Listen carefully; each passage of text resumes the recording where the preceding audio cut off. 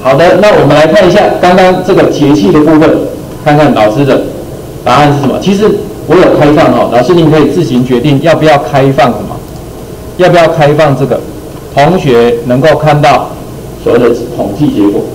那现在有开放，所以其实老师也可以自己看，也可以自己看在哪里，在任务里面哈，你看测验里有没有右手边有个统计？哎，你把它点一下，好，跳出来的二十四节气。你看这个同学还不错吧？有做两个笔记，哎，能可以看得到。那我们往下，我们的我们班的在比较下面，哦，在这里有没有？所以都有完成哈，都完成，你可以点一下，就可以知道说哦，有没有？像这位同学，这个答在这边，结果在这边，那你可以把它下载下来，整个这里，你就可以知道每个同学答的题目有没有，到底是答哪一题这样子，这样了解了哈。那这个答案当然是阳历的哦，就是我们讲国历了哈。二十四节气，比如说清明，每每年都是四月五号嘛，对嘛哈？清明节啊，那是四月五号啊。像那个节气的话，都差不多了。我们节气大概就是前后一天呐，啊，就前后一天哦，所以是跟太阳有关系的，啊，有关系。那您顺便可以再看一下，刚刚我们做过的什么？做过这种练习的，可以自行检查的。那投票其实也是接近的。好，投票还是接近。那投票的话呢，我们来看看这一题好了。因为最近前段时间，这个路上常看这种树啊，有没有在开花？有，对不对？请问这个是什么树？好，选择题，投票你一下。哎，对，老师厉害哦，这个是枫林木，没有错。黄色的跟这个都是枫林木，好，枫木。那这一题的话，其实像我考这种题目，还有一个很重要的，因为这些图片都来自网络上嘛，对不对？所以如果你真的不知道的时候怎么办？我会告诉他，教他一个按右键，有没有一个叫做用 Google 搜寻这张，这个叫以图找图，以图找图。所以老师可能也有听过，有没有？网络上有一种叫人肉搜索啊，我就不知道你是谁，可是有照片。有图，所以我们就有没有以图找图？哎，这样这个同学就会这个技巧了。所以以后我考类似题目，他就一样以图找图，就会找到答案了。我们重点不在考倒他，而是让他会嘛。好，那网络上你看用以图找图最大的不同，就是在上面这里会不一样，这里会不同。好，那如果说他已经有找到相关的图片，甚至有些时候关键字就帮你怎么样找出来了，好就。会是像这样，那当然，如果你的图片是只有你自己有的，你也可以找这里，因为 Google 现在把这个独立出来，有没有看到以图搜寻？点一下，你可以选择，哎，你贴图的网址，好，图片的网址，或直接自己上传。以前我是都用拖衣的啦，但它现在有把它放在上面，这样其实大家应该是比较好用，好，比较好用，所以你也可以从这边。所以你看，其实我们出题目可以像这样出啊，那这样就可以多学到一些东西。好。OK，这一题我就先不测验大家，我们来测验大家涂鸦题，你觉得怎么样？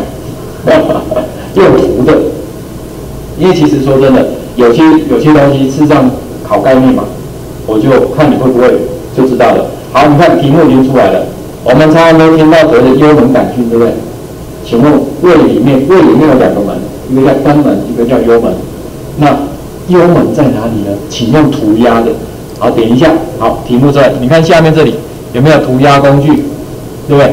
你就把你觉得，嗯，是这里，还是这里，还是别的地方，你就把它框起来。啊，万一涂错了，这里有橡皮擦，哎，自己擦一擦。好，我记得一件事情，这里有一个，有没有送出？哎，你送出就可以了。那老师这边呢就会看到，也可以看到你当初怎么画的。哎，有的人选对，但是就好像写字。写字写出是对，但是笔画顺序是错，有没有可能？有嘛？哦，所以这个就可以像这样去了解。那给各位老师测验看看哦，好不好？我们来看一下，看到这样的结果，然后呢，等一下我们来看统计的情形，你就会比较清楚说，哎，原来其实我们在增加跟同学互动，虽然是做测验，可是这个互动里面可以有很多怎么样不同的方式去做呈现。现在呢，老师已经回答的差不多了，我们就来看看到底大家答的情形如何哈。一样进到统计里面，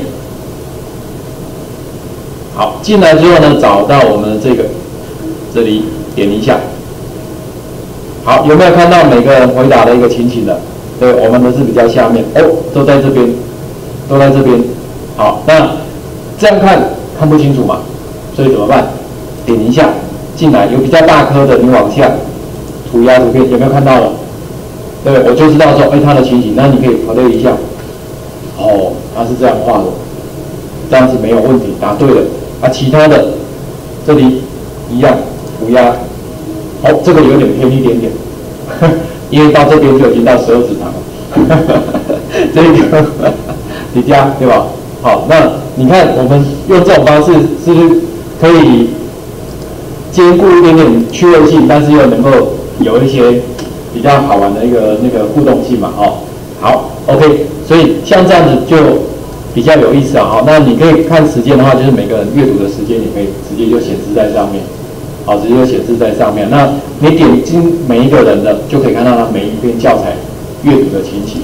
啊，阅读情形啊，所以这个是所谓的测验题，好，测验题啊。那您看到这些像这样玩过之后，有没有觉得好像我们的教室气氛也可以稍微改变一下，对不对？当然不可否认，最方便实行这种的，就是在所谓的电脑教室，因为大家屏幕够大，对不对？大家屏幕够大。如果说一般现在您在一般教室上课，大概有几个选项，有的是。比如说，老师可以找同学上来，或者是有的是属于讨论式的，那他会有几台电脑，那甚至有的班级他可能有用 iPad 的方式，啊，就是用平板方式上课的。那这边也有一个翻转学习工具，你也可以看一下，台大那个叶秉成叶老师嘛，哈，叶教授，他们有一个团队，这个是开发另外一个用手机 APP 的，手机 APP 的一个应用程式。不过不可否认啊，其实如果你今天要在手机上，去做看教材，我是觉得比较不是那么方便，但是倒是像我们刚刚那些简单的测验倒是可以的，就等于说，哎，上课的时候反正他本来就低头了嘛，哈哈现在不是这样，上课这样不都低头啊，很认真啊，只是不是在看书而已啊，那你就利用这个方式让他有个 A P P，哎，同时稍微互动一下，改善一下上课的气氛，这样，OK，好。